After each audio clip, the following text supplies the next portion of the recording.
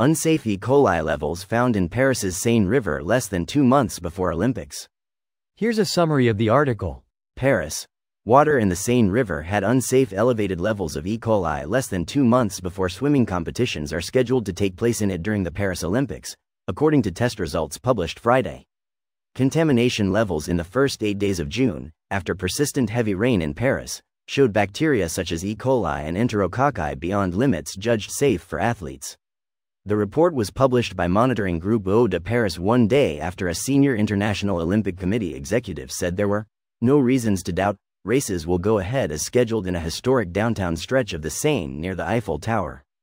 We are confident that we will swim in the Seine this summer, IOC official Christophe Dubi said Thursday at an online briefing after hearing an update Paris from city officials and Olympic organizers.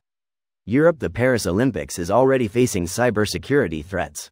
The safety of the Seine water for the Olympics has been in doubt since some test events scheduled last August were cancelled, also after unseasonal heavy rains. The tests indicated an improvement, from high contamination levels on June 1 to more acceptable levels by June 9, mainly due to improved weather. This post received a score of 8,200, with an upvote ratio of 96%. Here are the top comments in response to this article. Paris needs to take a page out of Ratatouille and lock up the health inspector until after the Olympics. I think you mean Raccacoonie. My wife forbid me from talking about Raccacoonie after that movie LMFAO. I wouldn't STFU Abbott for weeks.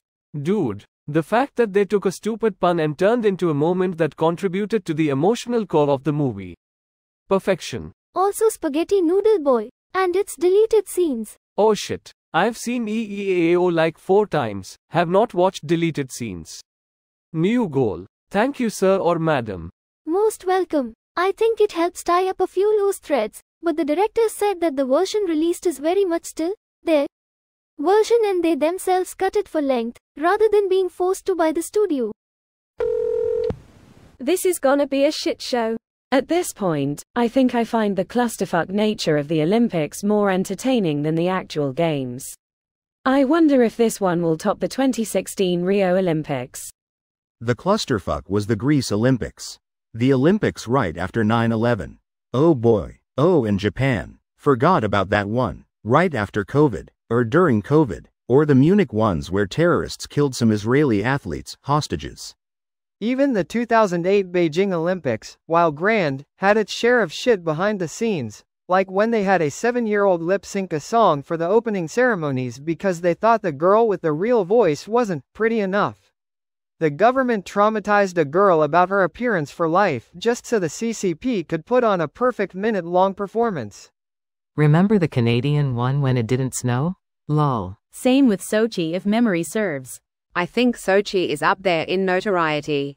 Most expensive event of all time, Russian athletes cheated and later got stripped of medals, spotty civil rights record, and straight up used it as a distraction to invade Ukraine four days later. Till the Olympics are in two months. No one watches TV anymore, so we can't be spammed with Olympics commercials to remind us. I don't want to have to piece together an event from 20 YouTube clips, or scrub through a 3 hour long video, or dig through a scattered unorganized pile of all the events from every single sport. I'm sure to people passionate about a sport, and especially for the contestants and all their friends and family and community and fans, this is one of the most important events of their lives and they want as much of it as possible and they will make the effort to find it. I'm sure I would watch hours of it if they presented it in a way that massively lowered the barrier of entry for attention span to follow and understand and become truly invested in the outcome of a single event. Like consolidating all the clips from every stage of an event and displaying them in a clear tournament style bracket, and sorting all the many, many events in a clear way where you can just see the ones you're interested in. This video was automatically created by Reddit to speech. The article and comments in this video were selected from Reddit according to their upvotes, and any paraphrasing was performed by smmry.com, without any human intervention.